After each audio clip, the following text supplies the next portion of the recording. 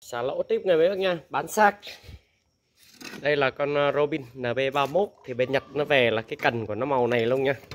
Cần của nó lại là 311 này. Thấy không? Cần dài lắm nha. Cần à, thì uh, em bán xác luôn. Bởi vì con này ừ, được rồi ba vô tắm giờ. Thì con này nó hơi nó tuột lắm á.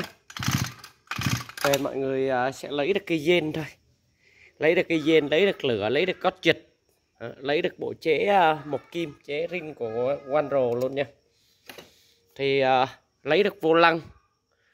Thì con này lấy được cái cần là danh giá nhất.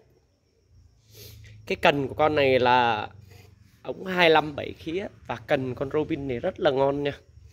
Cần của dòng Robin này nó ngon lắm. Đây là ừ thiếu chén.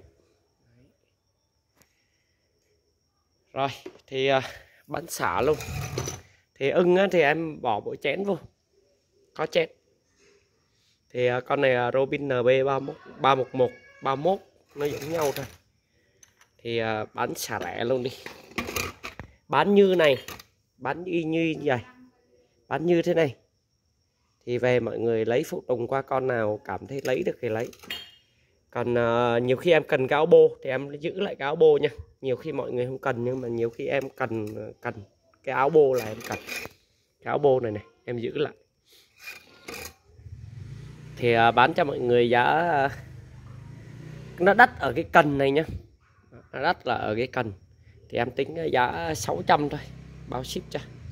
Thì à, xả tiếp con nữa, cho nó đứt đi. 600 bao ship tận nhà. Rồi, ok.